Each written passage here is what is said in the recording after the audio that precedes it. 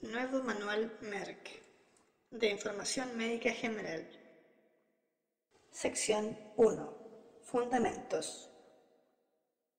Capítulo 1. Cuerpo humano.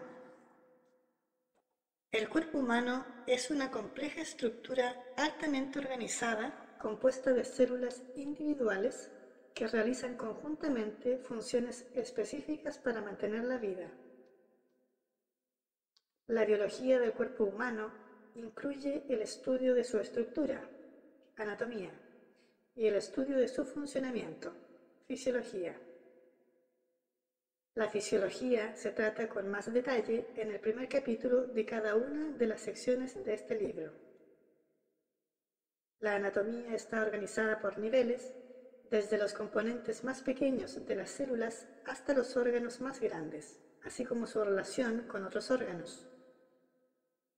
La anatomía general estudia los órganos tal como aparecen durante una inspección visual o una disección del cuerpo.